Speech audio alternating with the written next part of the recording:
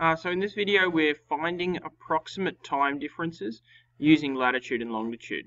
Uh, now we've used maps uh, with time zones and we've been told what time zones are and we've been told what, what uh, GMT certain cities are and we've been finding time differences that way.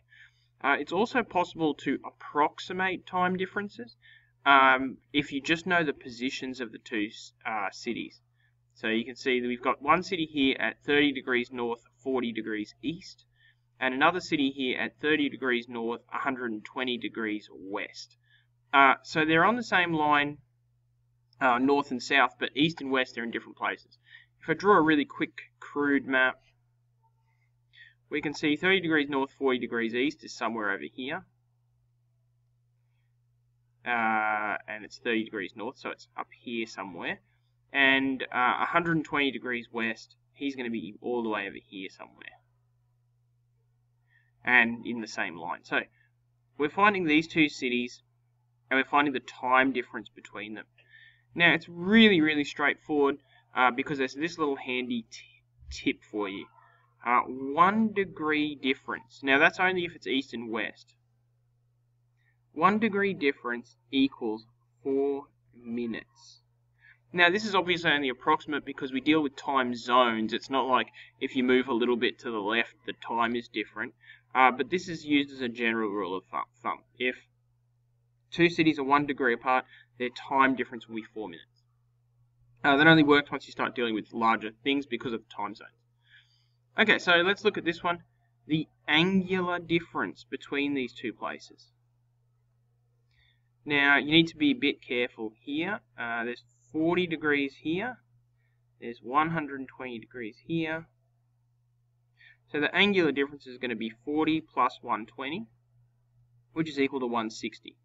Now you could go try, try going around the other way. You could go from here around the Earth and back around, but that would end up giving you 180 degrees. That's the long way. So we're going this way and this way, we're going the short way. Okay, so if the angular difference is 160 degrees, the approximate time difference, and this is a formula you'll need, is equal to the degrees, so the angular difference, times 4 minutes. Okay, so that's going to be equal to 160 times 4. That's uh, 326.40.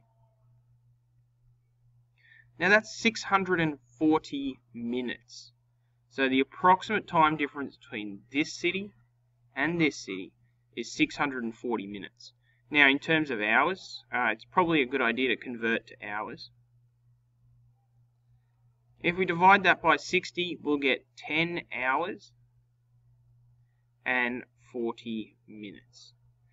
Uh, now remember, this is really, really strange because there's not actually any two places in the world that have an exact time difference of 10 hours and 40 minutes because our time zones are generally on the every hour. Uh, some weird ones are every half hour, but uh, in general, our time zones are every hour. So they're either, uh, and I'll write this here as my final answer. These two cities are either 10 hours apart or 11 hours apart.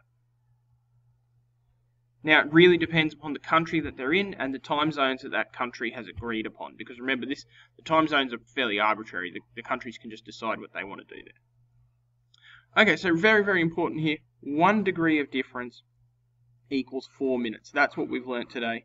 And this formula here, the approximate time difference between two towns is equal to the angular difference, only if you're going east and west, not up and down, times uh, 4 minutes. Okay, that's um, that's finding approximate time differences using latitude and longitude.